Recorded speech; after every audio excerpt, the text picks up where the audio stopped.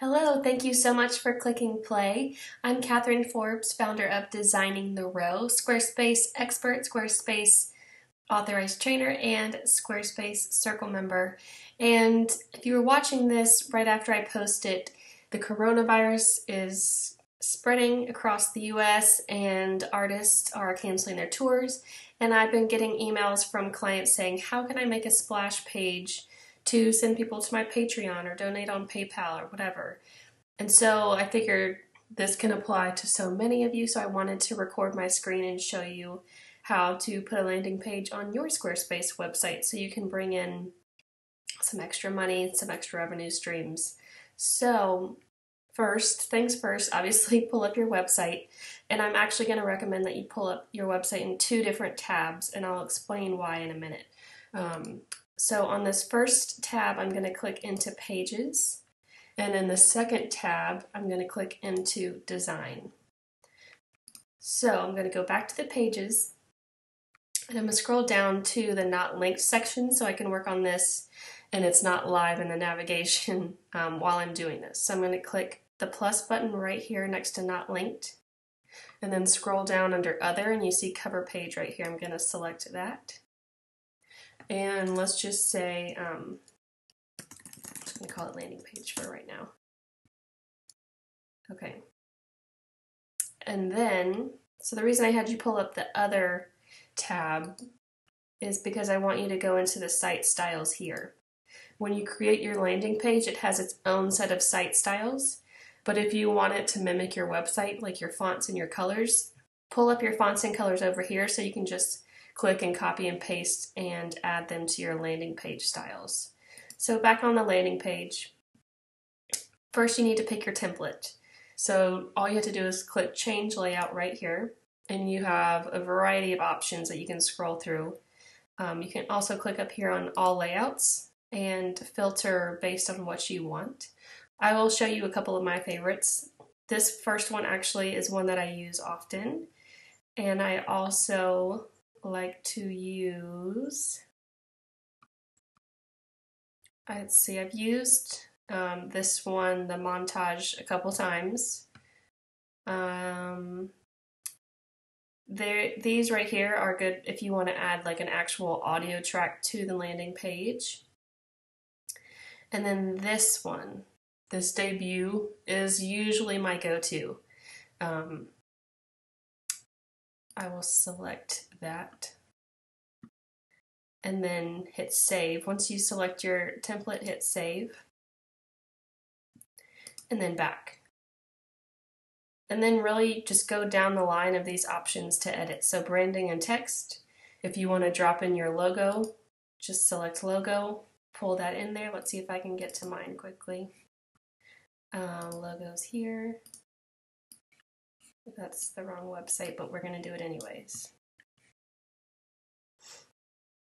Drop in your logo. Um, and then whatever you want your headline goes here. Body of the landing page goes here. You can link your text using this little icon or just leave it like this. But once you have your logo and your text the way you like, just hit save and then again hit back. And uh, this is the template I use often for artists because they can put a music video on here. So let's see. I don't have a video in mind it might not like that, but put your YouTube video link here, hit save. Yeah, I don't think it's gonna like that. Let's see what, if we can find one.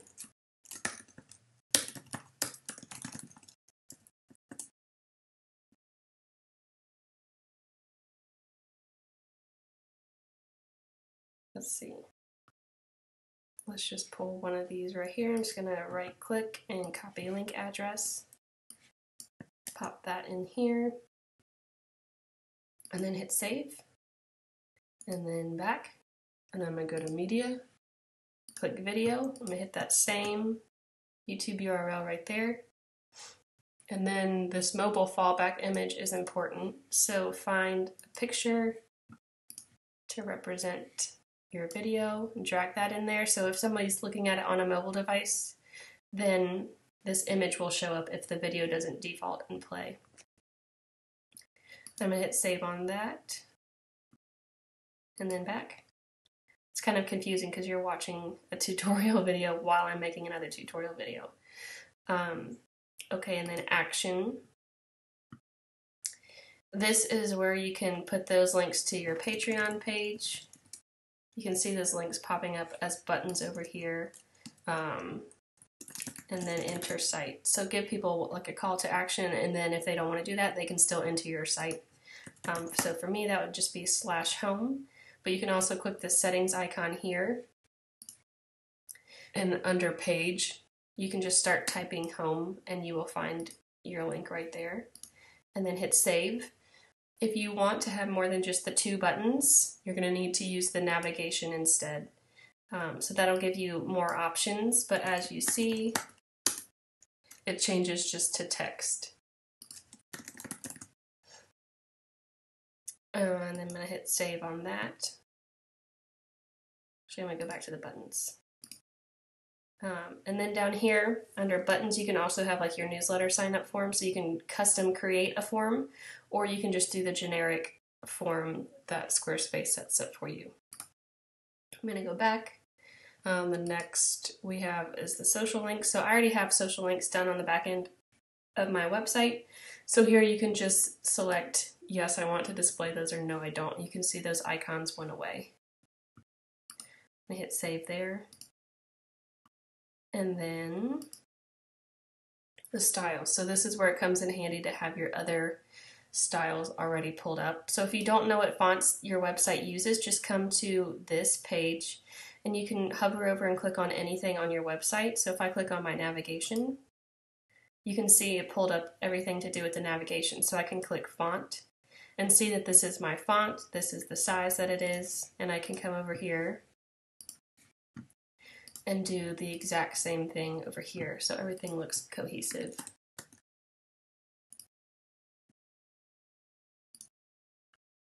Um, I could do 12 or keep it 14. And then let's say I want to change that color of the button to this color. I'm just going to click on that, copy it, and then paste it where the black is. You can see that changed the button color over here. I'm going to hit save and go back. I'm going to take this video out of the background. It's a little distracting right now. Um, just going to go, there we go, take that out. Let's stick in a picture here.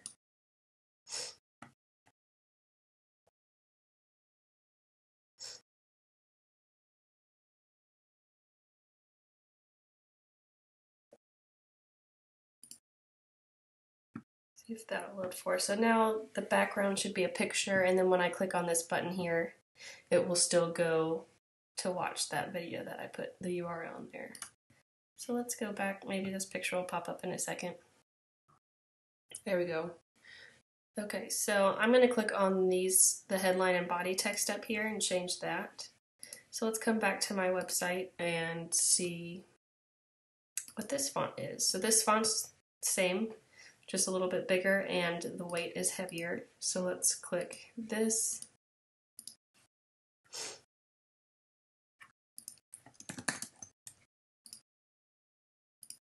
I'm gonna make it 700 and 30. So now you can see this kind of matches what I have going on over here. And then let's click this one. So let's find, let's see what this is. So this is 16700. Let's copy and paste this color.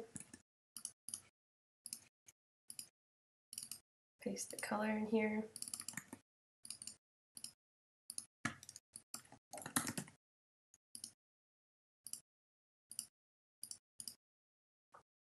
So wait, did I say 700?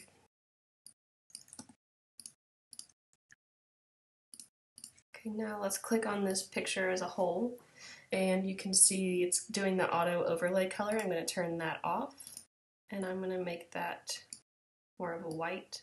So I could fade it in or out as much as I want.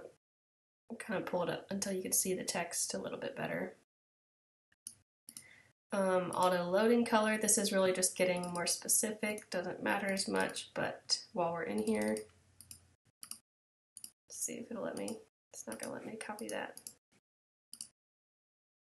Let's make the gold our loading color then. And maybe we will make that button gold or maybe we can make it blue.